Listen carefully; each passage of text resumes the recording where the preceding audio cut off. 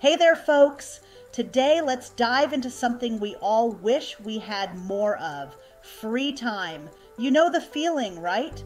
The stress and the never ending workloads can really pile up, leaving us longing for those moments of relaxation and leisure.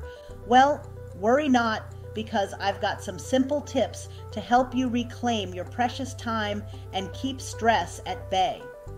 First things first, it's essential to set clear boundaries. Whether you work from home or in an office, make sure you have a designated start and end time for your workday. Stick to it as much as possible and don't let work spill over into your personal time. Next, prioritize your tasks. Identify the most important and urgent ones and tackle them first. This way, you can be more efficient and have more time left for yourself later in the day. Learn to say no. It's a simple word, but it can work wonders for your time management. Don't overcommit or take on more than you can handle. Be selective with your obligations and commitments. Delegate when possible if you have tasks that others can handle.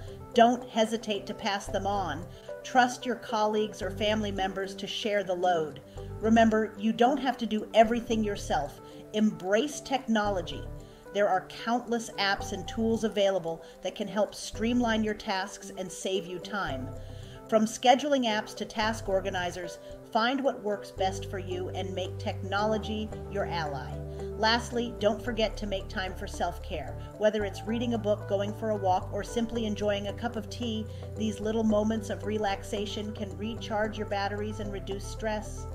In a world that often glorifies busyness, remember that having more free time doesn't mean you're slacking off.